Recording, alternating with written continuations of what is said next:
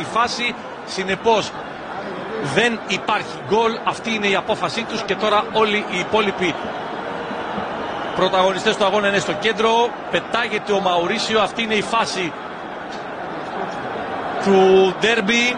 Ο Βαρέλα την κεφαλιά, διαγώνια η μπάλα. Ο Μαουρίσιο θέλει να μην έχει συμμετοχή στη φάση. Κομίνης και βοηθών, ο Κομίνης και ο βοηθός θεωρούν ότι επηρεάζει τη φάση. Συνεπώς δεν υπάρχει γκολ για τον ΠΑΟΚ. Αυτό λένε και πλέον μένει να αποκατασταθεί η εντός αγωνιστικού χώρου ηρεμία για να απεχθούν οι καθυστερήσεις του αγώνα. Αυτή είναι η φάση του ντέρμπι. Τη βλέπετε και την ξαναβλέπετε από